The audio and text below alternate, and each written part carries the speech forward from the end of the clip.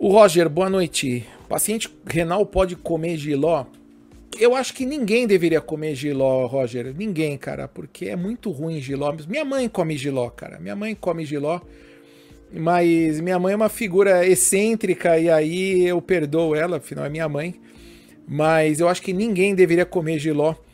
Agora, em relação aos componentes é, nutricionais do giló, pergunta para uma nutricionista. Eu nunca ouvi falar nada contra, mas também, cara, parece que é um negócio muito ruim. Eu não consigo nem, nem imaginar colocando esse negócio na boca, viu?